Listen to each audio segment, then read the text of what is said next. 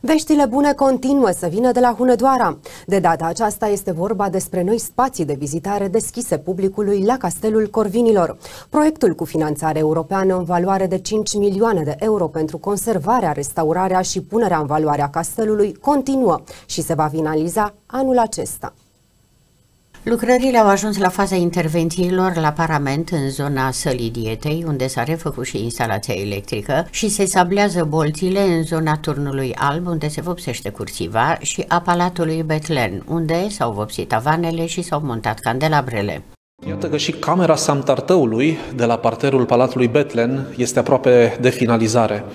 În afară de mici detalii, sala este aproape uh, finalizată a fost reabilitat în întregime sistemul de iluminat, a fost montat un sistem de încălzire uh, electric, iar în ceea ce privește uh, arhitectura interioară, a fost uh, refăcută o instalație de foc ce exista în acea zonă. Expozițiile care vor fi montate aici după restaurare trebuie să vă mărturisesc că ne vom orienta după uh, inventarul lui uh, Boioni din secolul al XVII-lea, care face o descriere foarte fidelă a acestei săli.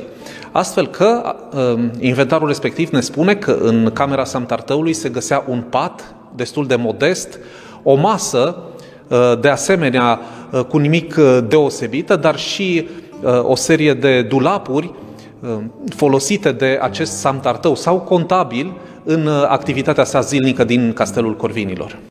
Actualele lucrări se vor finaliza anul acesta și vor fi urmate de un al doilea proiect în valoare de aproximativ 6 milioane de euro, care va viza obiectivele din Castelul Corvinilor ce nu au putut fi incluse în primul proiect de restaurare.